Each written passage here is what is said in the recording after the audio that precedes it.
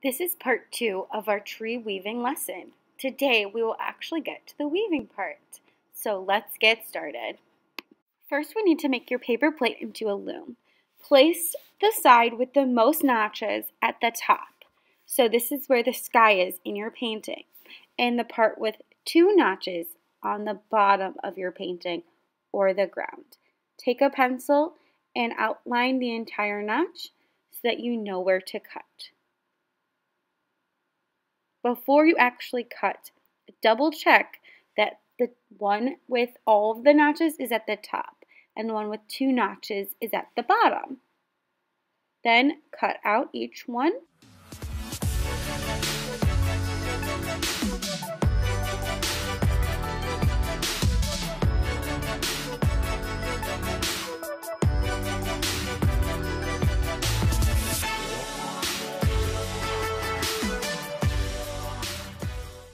Now that we've cut our notches, it's time to warp our loom.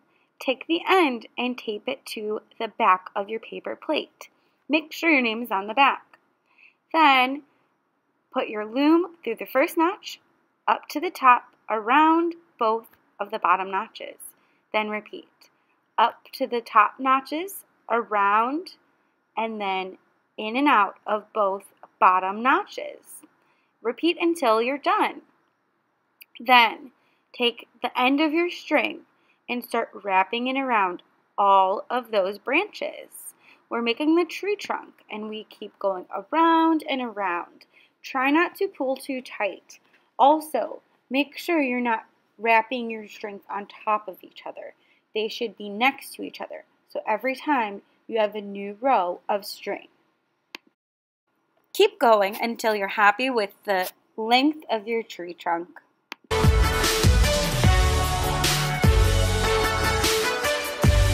Just before you run out of string, you'll need to tie the end onto one of your branches. Make a loop, put your string through, and pull. Then you're ready to do the leaves. Choose the color that you would like to use for your first set of leaves. Cut about a foot and a half off and then start weaving. Weave using the process of over, under, over, under. Pay close attention to each one to make sure you're doing the right um, steps. Then tie the end on using a loop, put your string through the hole and pull. Then keep weaving. I ended over, so now I need to go under. Under, over, under, over, and then pull all the way through and continue this process until you run out of string.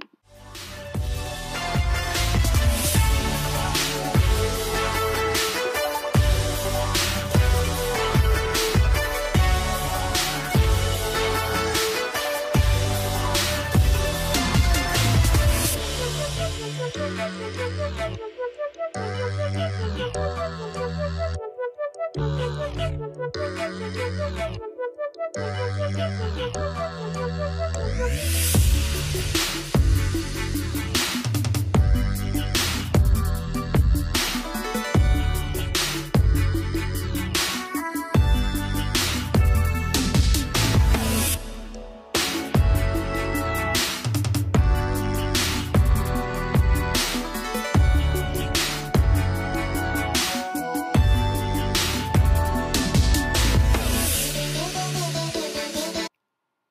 Next, I want to show you what would happen if you accidentally did not alternate. So if I started out under and then went under again and went back, then my string would just come out and fall apart. So it's important that you make sure that if you ended under, then you're going over and vice versa. If you mess up, it's okay, just try again.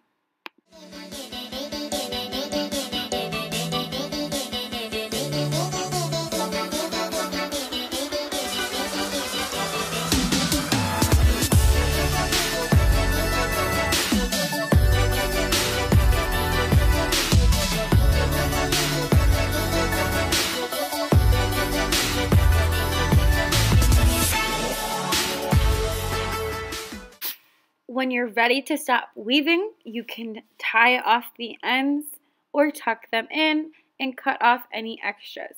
Just be careful not to cut too close so that it doesn't fall apart. Can't wait to see what you guys create. Good luck!